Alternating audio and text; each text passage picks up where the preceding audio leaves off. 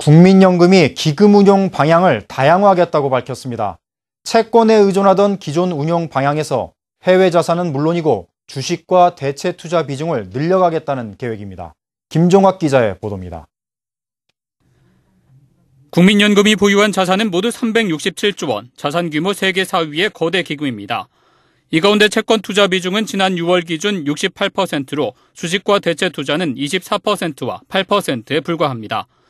국민연금은 글로벌 경기 침체 속에서 포트폴리오에 대한 다변화가 필요하다며 앞으로 5년 안에 채권 비중을 60% 미만으로 줄이고 주식과 대체 투자 비중을 늘려가겠다고 밝혔습니다.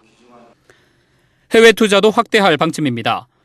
현재 해외 투자 자산은 56조 3천억 원으로 전체 투자 비중의 15.3%에 불과합니다.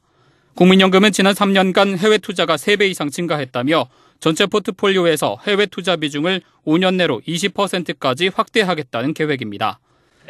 이날 컨퍼런스에 참석한 로렌스 서머스 전 미 재무장관도 국민연금이 해외 투자 비중을 늘려야 한다고 조언했습니다.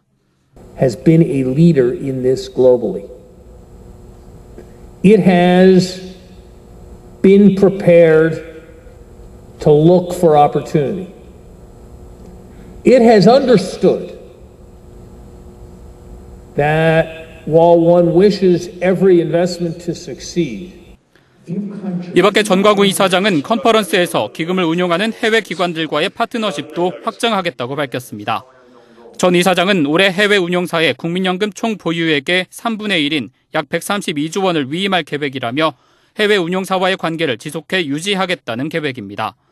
고령화가 가속화되며 연금 수급자 증가로 기금 고갈 우려가 깊어지는 국민연금. 해외 투자와 대체 투자로 성장의 한계를 벗어나는 전환점을 맞을지 주목됩니다. 한국경제TV 김종학입니다.